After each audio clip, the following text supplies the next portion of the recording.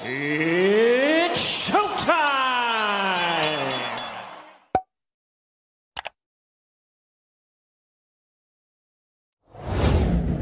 Hey, yo, what up, fight worship boy, boxing fanatic? I'm back with another one.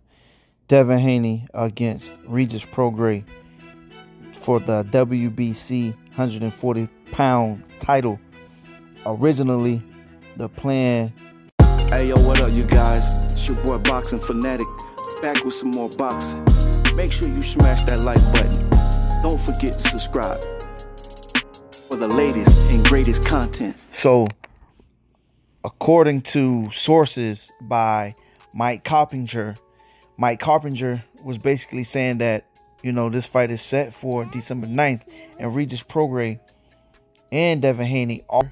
He was trying to fight in his hometown, which is Louisiana, but I guess I don't know how they worked out the logistics of, you know, where the fight was going to be It's not happening. and Frank Martin will be fighting for that. And if Devin Haney wants to come back down to get that belt, he will have to face the winner out of um, Shakur Stevenson and Frank Martin.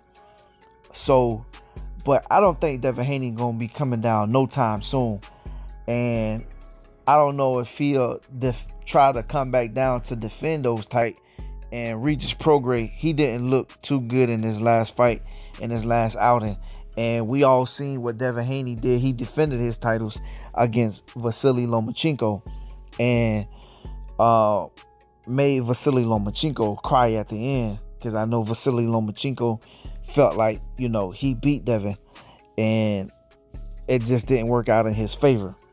So when the WBC stripped Devin Haney of his his title, um, the I guess Bob Arum made some calls and was trying to make a fight with his two fighters that he had that he promote, which is Shakur Stevenson and other over uh, numerous or countless times.